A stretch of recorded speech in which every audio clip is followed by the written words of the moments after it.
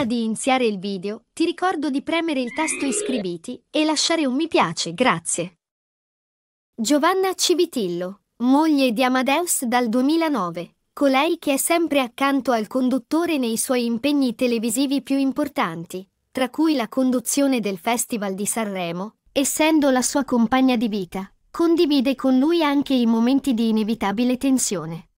Presto noi vedremo Ama di nuovo al timone dell'importante Kermesse sanremese, ma nessuno dimentica lo sfogo che Giovanna ebbe durante la puntata in cui la ballerina e showgirl, ospite di Alberto Matano nella parentesi dedicata all'H Sanremo di Amadeus, ad un certo punto non è riuscita a trattenere le lacrime.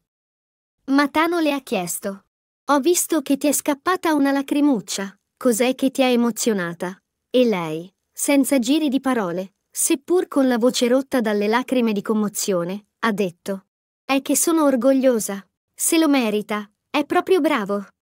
Lacrime di gioia, di ammirazione, di stima nei confronti del marito, quelle di Giovanna che ha solo speso dolcissime parole per lui.